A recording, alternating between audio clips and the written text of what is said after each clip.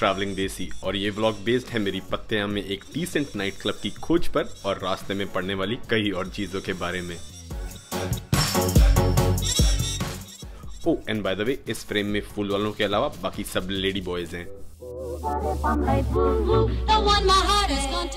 और अब बहुत ज़्यादा थक चुके हैं बड़ी लंबी फ़्लाइट के बाद और टाइम है दो तीन घंटे सोने का। रेस्ट करने के बाद थोड़ा सूरज नीचे चला जाए, फिर पत्ते एक्सप्लोर करने जाएँगे। ऑफ़ द पॉट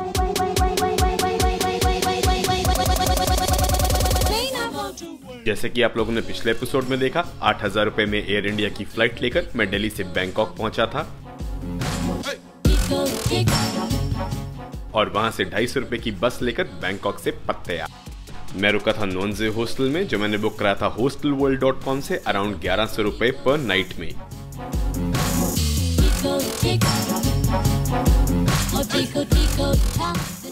ये एक स्टैंडर्ड पॉड हॉस्टल है, जिसके अंदर आपको एक टाइनी प्राइवेट सेटअप मिल जाता है और इसके अंदर एयर कंडीशनर और एक मिनी कैबिनेट होती है।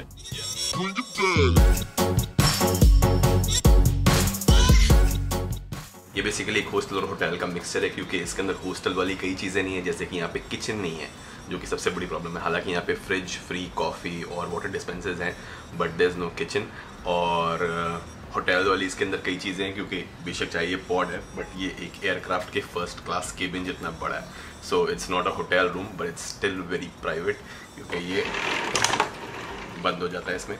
बट इस हॉस्टल में अगर आप कपल हैं या फ्रेंड्स के साथ हैं तो बिना इस दीवार के दो या तीन पॉड वाला एक इकट्ठे रूम भी ले सकते हैं बट उसके रूल्स थोड़े से वियर्ड हैं। और हॉस्टल रूल्स की लंबी चौड़ी लिस्ट में शामिल है no sex policy but just in case you're looking for hotels तो यहाँ होटल्स की भरमार है और डिसेंट थ्री स्टार होटल्स दो हज़ार रुपये पर नाइट ऑनवर्ड से आराम से मिल जाते हैं। और अगर आपको कोई ट्रैवल एजेंट होटल्स बुक करके दे रहा है तो उससे होटल्स का नाम पूछकर आप ट्रिप एडवाइजर डॉट कॉम पर उनकी रेटिंग्स पहले ही चेक कर सकते हैं।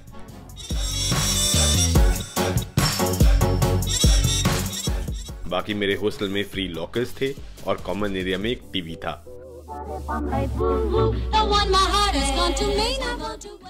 बट फ़्लाइट क्योंकि बहुत ही अनहाइजेनिक जगह होती है और जर्म से भरी होती है क्योंकि लाखों लोग एयरपोर्ट्स और फ़्लाइट को क्रॉस करते हैं तो इसीलिए the first thing should be when you reach your destination एक शावर ले लेना चाहिए। मैं शॉट लेने के लिए बेड पे चला तो गया था but usually I make it a practice कि हमेशा बेड में घुसने से पहले whenever you're travelling abroad या ऑन लॉन्ग हॉल फ्लाइट्स या even local take a shower first अब देखते हैं वॉशरूम कैसा है।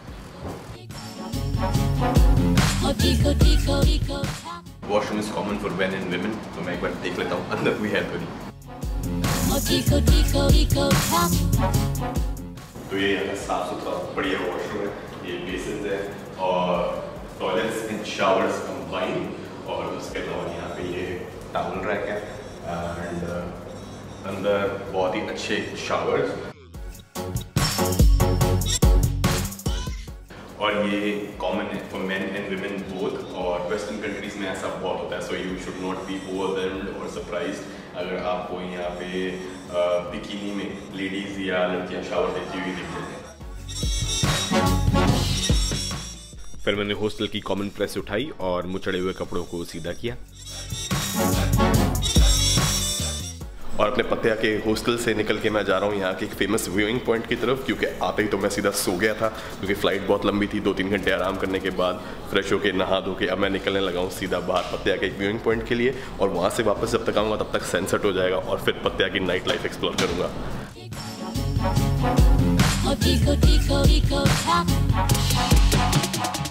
व्यू पॉइंट पर जाने के लिए काफ़ी बार्गेनिंग करने के बाद हमने पकड़ी यहाँ की फ़ेमस बाइक टैक्सी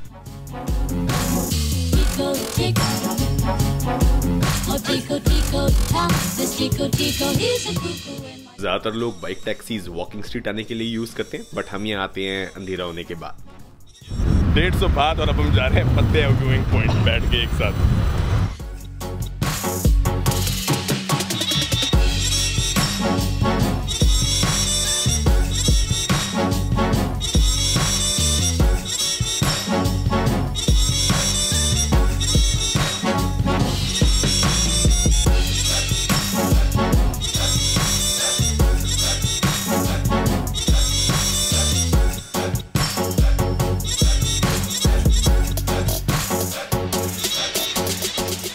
पत्ते व्यू से वापस आके मैंने हॉस्टल में थोड़ा सा रिलैक्स किया और उसके बाद फिर से थोड़ा सा फ्रेश होने के बाद अब मैं जा रहा हूँ सीधा वॉकिंग स्ट्रीट क्योंकि साढ़े छः सात बजे वहाँ जाने का कोई फ़ायदा नहीं होता। The best time is to go after nine thirty ten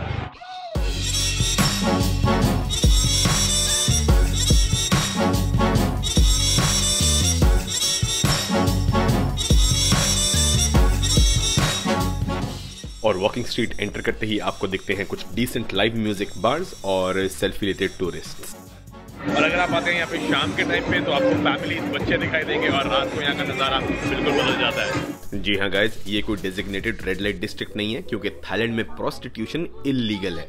और पत्तिया की ये वॉकिंग स्ट्रीट शाम के दौरान फैमिली टूरिस्ट से भरी होती है जिसमें हर उम्र के लोग अपने बच्चों के साथ आते हैं।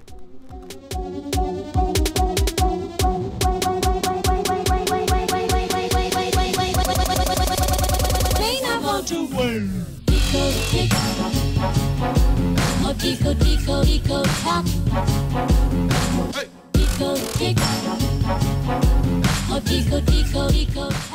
बट जैसे जैसे आप वॉकिंग स्ट्रीट में और टाइम में आगे बढ़ेंगे शुरू होंगे यहाँ के गोगो बार्स और यहाँ पे वॉकिंग स्ट्रीट में अगर आपको कोई एक तरीके का बिज़नेस सबसे ज़्यादा दिखेगा तो वो है कोको बार बहुत ज़्यादा मतलब एक के सामने एक है, हर पाँच या दस कदम पे एक आ जाता है। यहाँ पे बहुत सी लड़कियाँ आपको अंदर आकर ड्रिंक्स लेने के लिए सड़क पे ही इन्वाइट करती हैं। But the best way to ignore is keep looking straight and no eye contact.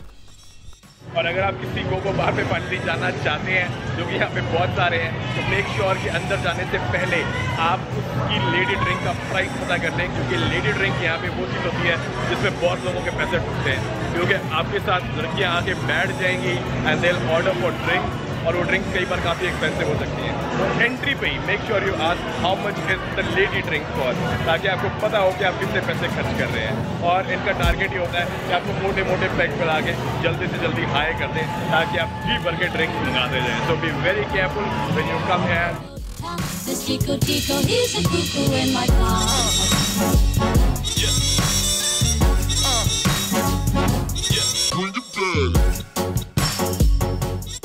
और यहाँ पे एक तरफ़ है रशियन डेजा गर्ल और इस तरफ़ है इंडियन डिस्को मस्ती। और फिर यहाँ होते हैं अलग अलग तरह के एडल्ट शोज़ की टिकट बेचते हुए एजेंट्स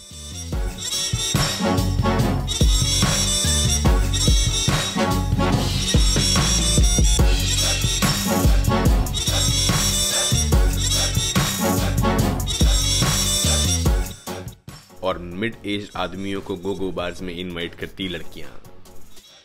बट फिर यहाँ आते हैं जेनवन लाइव म्यूज़िक बार्स जहाँ ज़्यादातर वेस्टर्नर्स और कुछ लोकल्स अपनी फैमिली के साथ लाइव म्यूज़िक एंजॉय करते हैं।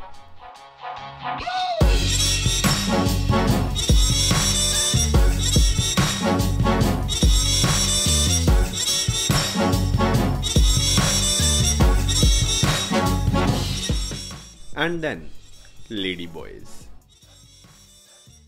इनमें से कुछ को तो पहचानना आसान होता है। कुछ ओपनली लेडी बॉय बार्स में आपको इनवाइट करते हैं और हैप्पीली सौ बात में अपने साथ फ़ोटो खिंचवाने देते हैं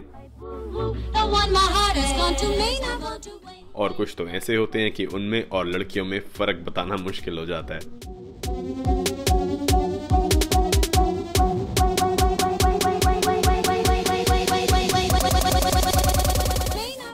और कईयों का मेकअप और कईयों की body language is a clear give away but इनमें से ज़्यादातर दिल के बहुत अच्छे होते हैं Alright, so this is Hello, welcome in Thailand. I'm Linda. Linda, alright. Yeah, welcome to Pattaya. alright, Linda, so tell me, when did you realize that you were a lady boy? At what age? I'm not sure. I'm little lady. I'm little young. I'm a, I'm like superstar man. I'm like Ah, okay. I, I like about a lady. I want beautiful in, inside my heart. I'm lady. Uh-huh.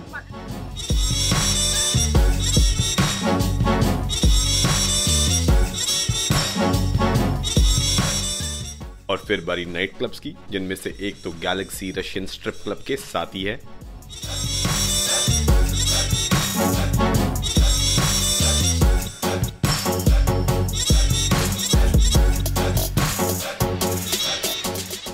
हालाँकि ये club तो थोड़ा ठीक ठाक था, but यहाँ पे ज़्यादातर लोग चाइनीज़ थे।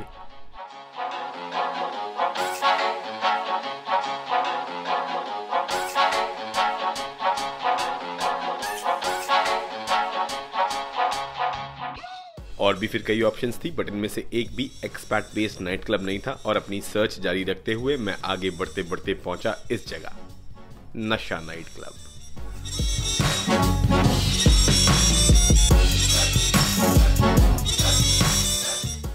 और यहाँ पर डीजे विकी ऐसे देसी गाने बजा रहे थे जो हमारे यहाँ किसी देसी रिसेप्शन में बजते हैं। और ये जगह थोड़े से शौकीन किस्म के लोगों के लिए थी, इसलिए मैं यहाँ से निकल गया।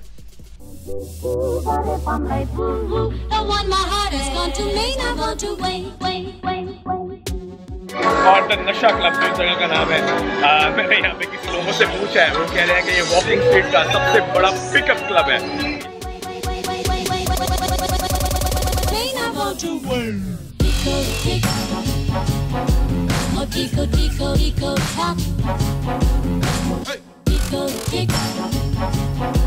Oh, tico, tico, tap. और फिर कई और नाइट क्लब्स क्रॉस करता हुआ मैं पूरी वॉकिंग स्ट्रीट खत्म करके इसके दूसरे कोने तक पहुँच गया बट अभी तक भी मुझे कोई ढंग का जेनुइन नाइट क्लब नहीं दिखा था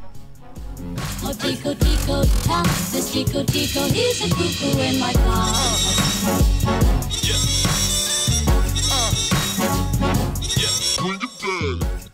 हाँ बट इतना चलने के बाद भूख ज़रूर लग गई थी।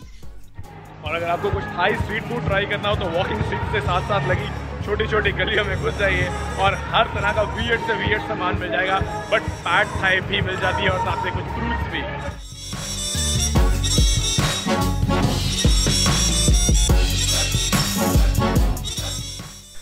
चाहें तो मेरी तरह चिकन पैट थाई खाने की बजाय ले सकते हैं पाइन टाइप फ्रूट्स या फिर बिच्छू टिड्डे कीड़े मकोड़े और उनके पकौड़े।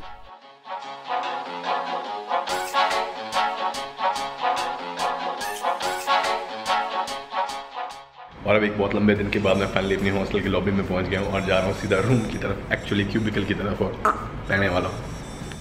बट मैंने वापसी आने से पहले सारी दांत लगाकर अपने लिए एक ढंग का साफ़ सुथरा एक्सपैट नाइट क्लब ढूंढ लिया।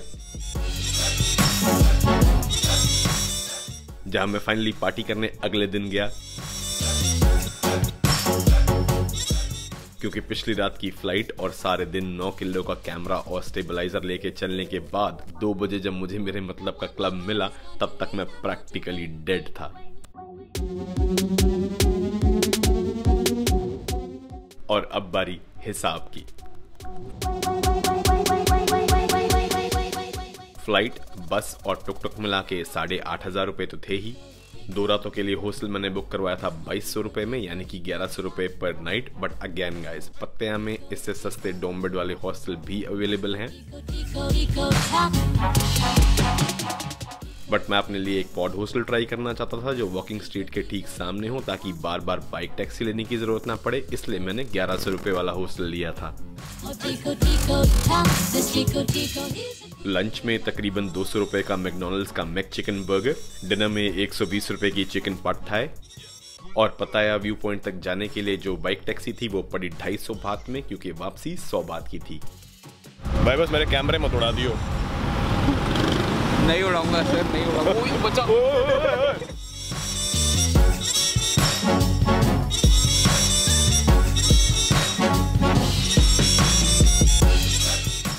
बताया कि अगली वीडियो में मैं आपको ये बताऊँगा कि आखिर मिडिल एज लोगों के लिए ये सिटी इतनी पॉपुलर क्यों है? और फाइनली जब हॉस्टल से चेकआउट करूँगा तो आपको दो दिन का पत्तया का पूरा खर्चे का डिटेल्ड हिसाब भी दे दूँगा।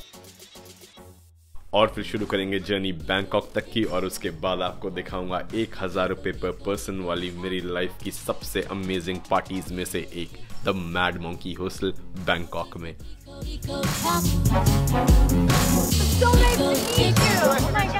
सो गाइज़ थाईलैंड में मेरा पहला एक्चुअल प्रॉपर ब्लॉगिंग एक्सपीरियंस है, और मैं आपको हर एक दिन का एक ब्लॉग पेश करने की सोच रहा हूँ। और अगर आपको ये आइडिया और वीडियो पसंद आया हो तो पूरी देखने के बाद एक लाइक तो बनता है। और आगे के ब्लॉग्स के लिए, जिनमें शामिल होने वाली है कंबोडिया की amazing pool party subscribe button और वो जो बेल आइकॉन है, वो दबाना मत भूलिएगा। And until next time a very goodbye from your travelling desi.